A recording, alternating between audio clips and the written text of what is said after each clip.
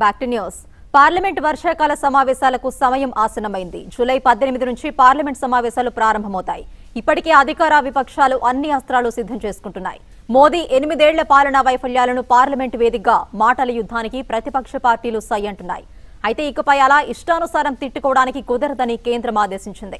ఉభయ సభల్లో సభ్యులు ఇకపై అభ్యంతరకర పదాలు వాడకూడదంటూ అన్పార్లమెంటరీ పదాలపై నిషేధం విధించింది.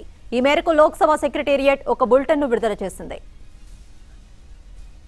పార్లమెంట్లో నిషేధించిన అన్పార్లమెంటరీ పదాల జాబితాతో అవినీతిపరుడు అసమర్థుడు నాటకం నటన సిగ్గులేదు గాడిద దోడెబాజ్ బ్లడ్ షెడ్ బ్లడీ పదాలున్నాయి. వీటితో పాటు betrayed ashamed abused cheated corrupt dictatorial coward criminal crocodile tears donkey అనే పదాలపైన నిషేధం విధించింది కేంద్రం.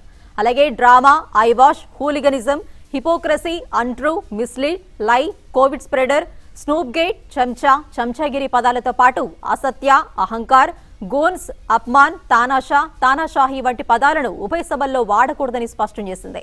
అలాగే జైచంద్ వినాష్ పురుష్ ఖలిస్తానీ ఖూన్సే ఖేటి కాలా దలాల్ దాదాగిరి బేచారా బాబ్గట్ లాలీపాప్ విశ్వాస్ఖాద్ బేహ్రీ సర్కార్ జుమ్లాజీవి శకుని వంటి పదాలు పార్లమెంట్లో ఎట్టి పరిస్థితుల్లో సభ్యులు ఉపయోగించరాదని లోక్సభ స్పీకర్ ఓం బిర్లా తెలిపారు.